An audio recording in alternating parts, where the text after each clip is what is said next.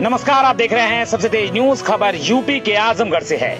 आजमगढ़ में आबकारी विभाग को मिली बड़ी कामयाबी। आबकारी विभाग द्वारा अवैध शराब के विरुद्ध चलाया जा रहा है अभियान। आजमगढ़ जनपद में आबकारी विभाग द्वारा लगातार अवैध शराब के खिलाफ कार्रवाई की जा रही है।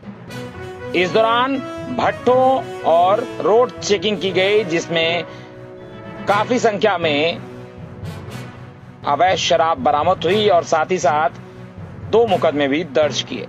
इस पूरे मामले पर सहायक आबकारी आयुक्त आजमगढ़ अनुप शर्मा ने क्या कुछ बताया? आइए आपको सुनाते हैं। आप देख रहे हैं आजमगढ़ से राकेश वर्मा की रिपोर्ट। निर्देश पे जिलाधिकारी महोदय द्वारा प्रवर्तन अभियान के लिए टीमों का गठन किया गया है। उसमें आबकारी विभाग, पुलिस और प्रशासन की टीमें संयुक्त रूप से छापेमारी कर रही हैं, दबिश कर रही हैं, दुकानों की चेकिंग कर रही हैं। और रोड पे आने वाले जो अन्य प्रदेश के वाहन हैं, वो चेक किए जा रहे हैं। आज भी सर्किल दो, चार, पाँच छः और आठ इन क्षेत्रों में दबिश हुई है, जिसमें 20 लीटर कच्ची शराब मिली है और 200 ग्राम 200 किलोग्राम लहन मिला है जो नष्ट किया गया है।